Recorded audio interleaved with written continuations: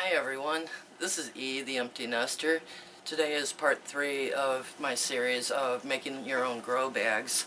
I'm still working with the same landscaping fabric I started out with last year and the one gallon grow bags, I've got one still outside over winter and it still looks like brand new. So today I'm going to show you um, how to make the window box grow bag. I With this one I got out a little bit of um, material to show you that you can just put um, like a ribbon around it or material around it and um, put it on this side and then take it across on each side and that'll keep this pretty much um, into a window box type of shape. Otherwise, if you don't want that, you know, I kind of like the idea that you can just mash the soil down a little bit and increase the soil surface and have a little bit extra growing room. This will be perfect for starting my true potato seeds in. And um, I also, if I'll put the link in the bottom of how to make the one gallon grow bags and then the half gallon and the five gallon grow bags are on my last video. I'll put a link to that in the bottom also.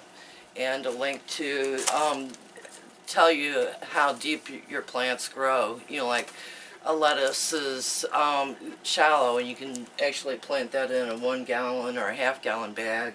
Lettuce would be good in here too. I would put maybe um, to keep big and bunching, I would put maybe three heads in here. And if you want to crowd it, you could do six heads in here. But on to the show, and thank you for watching. I'm using what's left of this three foot roll of landscaping fabric that I started making the grow bags with last year. I only paid like $5.99 for this roll, and you can probably get it still for around $10 and it's 3 foot by 50 foot. The type of thread that I'm using is a cotton polyester blend. This one's about 8 inches wide, six and a half tall, 15 long. All you have to do is um, take your material and put it on here and rather than measure and then go down an inch or so on the side, bring it up an inch or so on the side here and then cut straight across and then decide whether or not you want to use one, two out of this and then build up the um, side over here or just go ahead and make a 36 inch container and um, bring up the sides over here. But let me go ahead and do this. Where's my scissors? There they are.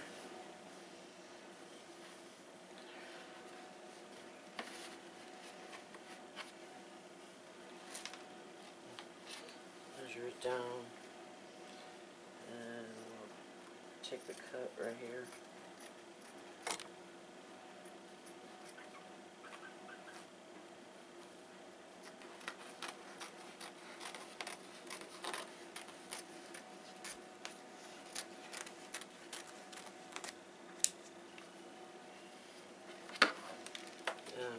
Do is make two of these and just go ahead and trim this in half.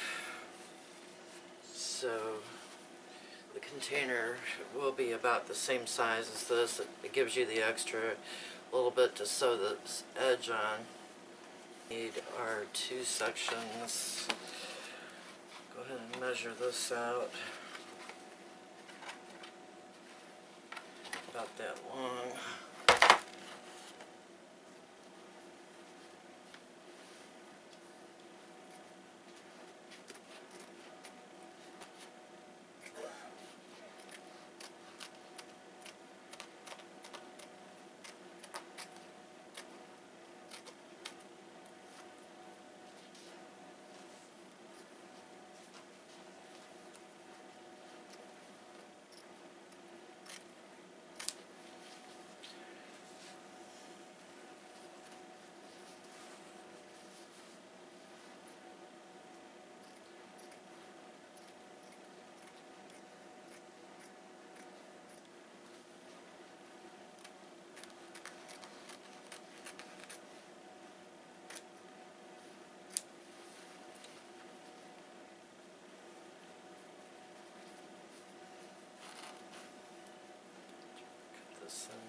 And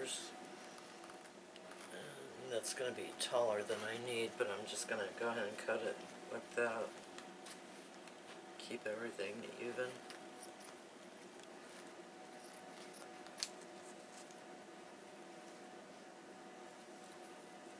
Okay, the sides here of the bag measure about six and a half inches by five and a half inches. And then you'll cut the um, material like I showed you and it measures about 21 inches by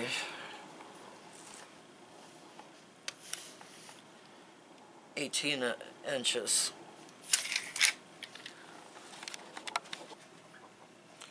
I found best to do is fold this in half and make sure it's the long way and not the short way.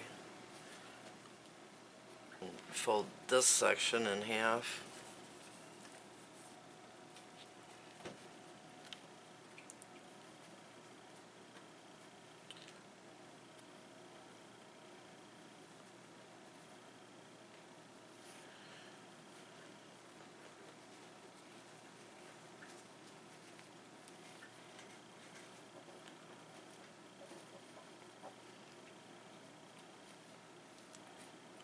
You've got the direct center here.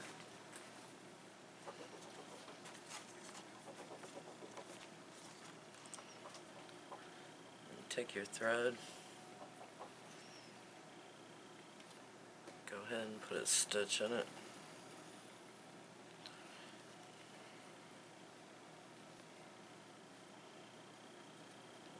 I'm gonna just stitch up the side here.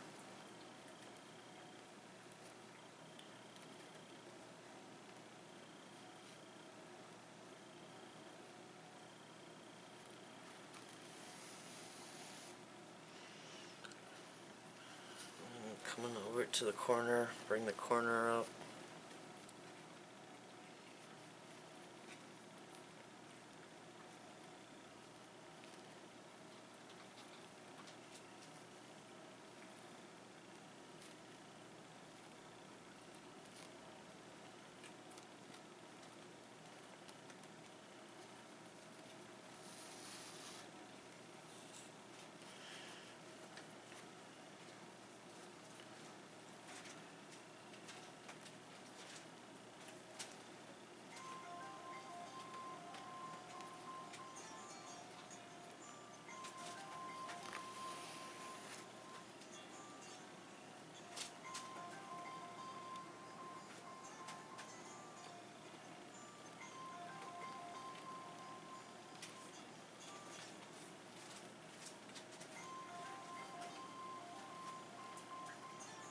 This would be faster and easier on a sewing machine, but not everyone has a sewing machine. But everyone can learn to sew. With a needle and thread, it doesn't cost that much.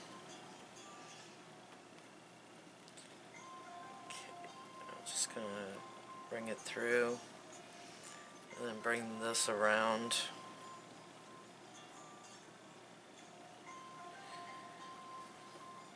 Through. It's kind of like putting a knot in it.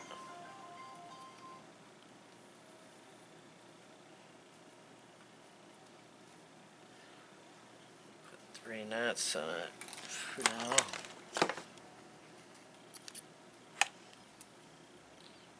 Put, wrap this around and then roll it off. Wrap it around. Roll it off.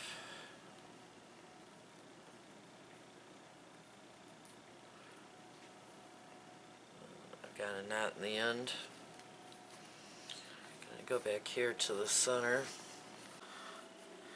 Okay, let's take a closer look at this. You're going to start in the center here and sew that way. Go to the corner, sew into the corner, and then come to the end. And then after you do that, you go back to the center on the back again, go across, sew into the corner, go up the corner and to the edge again. When you're done with that, then you want to take the each side and flip it over again like this. Sew it down this side. Go to this side, flip it down, sew that side, and then go to the bottom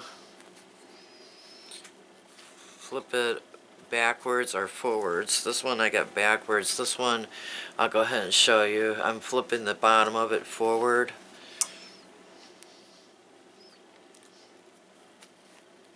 And then you start in the corner and just put your needle in, go up and down.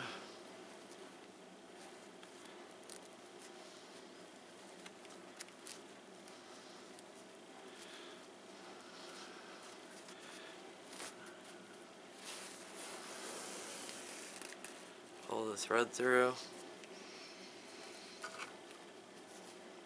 And then tie your knot, knot off over here at the end.